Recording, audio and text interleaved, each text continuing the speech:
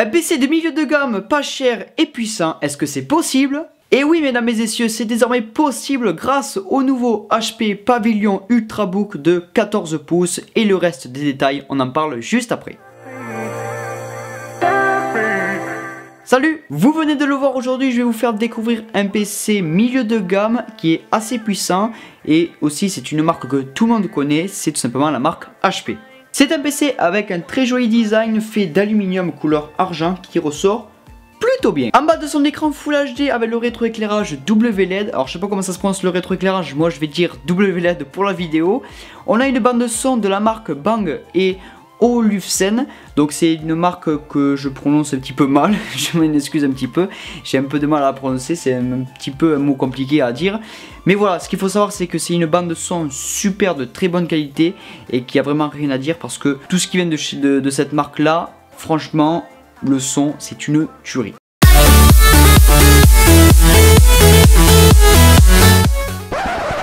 Au-dessus de son écran, on retrouve une caméra HD avec un microphone numérique à double entrée. On l'a pas vu, mais on va le voir tout de suite, c'est que l'avantage de ce PC en 2018, on a à peu près toutes les connectiques qu'il nous faut, et ça, c'est vraiment le top.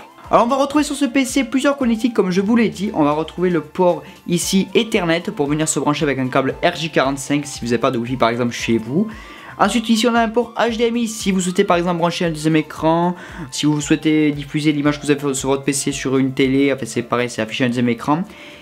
Ici on a un port USB type C 3.1, donc c'est plus les 3.0 c'est les 3.1.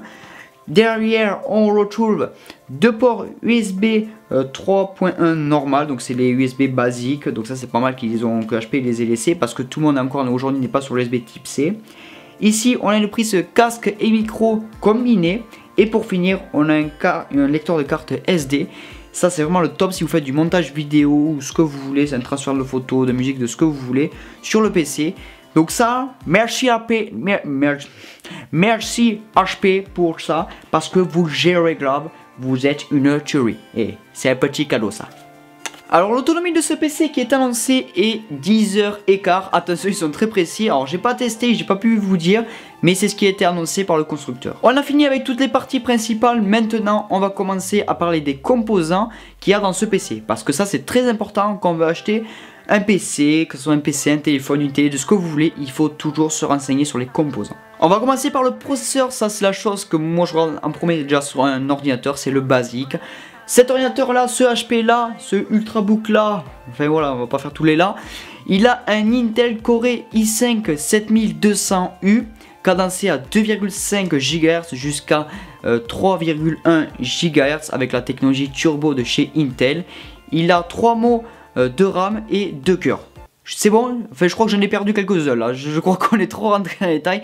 Mais voilà, ce qu'il faut savoir c'est que c'est un très bon processeur pour cette gamme là et pour ce prix là. Donc franchement, il euh, n'y a pas ce point.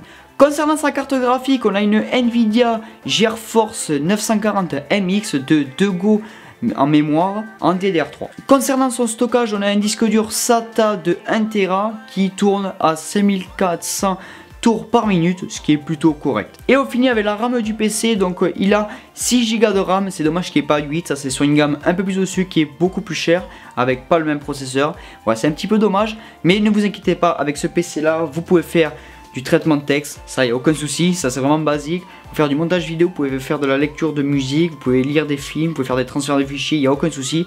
Vous pouvez jouer au jeu aussi, il n'y a aucun problème. Ça, c'est super bien pour le prix qu'il vaut. Ça, le prix, on y reviendra plus tard. Et on finit avec la dernière partie qui est tout simplement la partie logicielle qui est aussi très importante.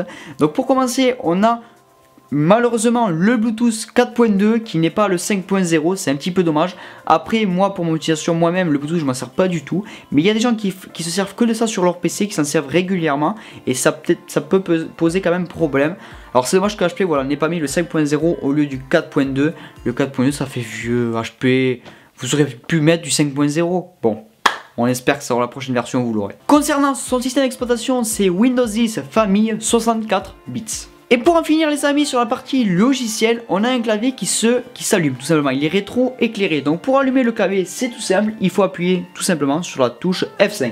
Vous appuyez sur la touche F5 et le clavier s'allume. Ça c'est super bien parce que quand on est dans le noir, au moins on peut voir les lettres. Tout est super bien rétroéclairé. Il n'y a qu'une couleur, il ne faut pas demander trop non plus. Le rétroéclairage est blanc, blanc du vrai blanc, presque blanc bleu. Mais c'est voilà, c'est un blanc quand même très propre, très joli. Et c'est plutôt un très très bon point positif pour ce type de gamme là et ce prix là qu'on va voir maintenant tout de suite. Bon les amis, on va passer au prix, hein, avec mon petit chapeau pour faire la, fin de la vidéo. Euh, donc le prix, je trouve que c'est pas très cher. Alors on va y venir. Euh, juste avant de vous dire le prix, ce PC là, je l'ai conseillé à un client, à moi, que je connais très bien. Et du coup, il a acheté ce, cet, cet, HP là, il a allumé, il a essayé, il tourne super bien, très content pour le prix.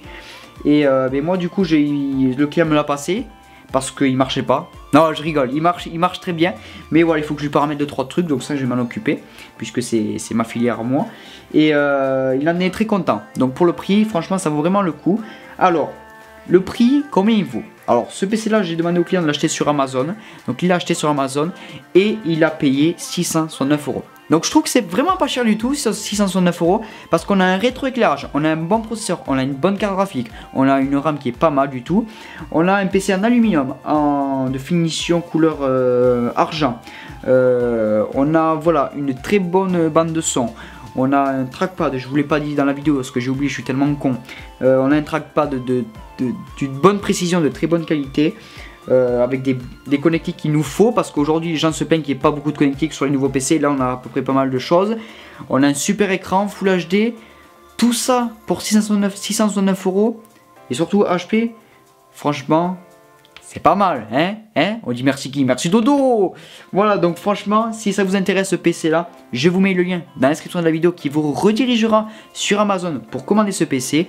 Commandez-le si ça vous intéresse, si vous cherchez un PC portable et que vous avez le budget. Commandez-le, dites-moi ce que vous en pensez, mais normalement, je verrai en commentaire. Merci Dodo, j'ai acheté le PC, il marche super bien. Waouh, c'est trop fort. Non, ça va, je suis, hein?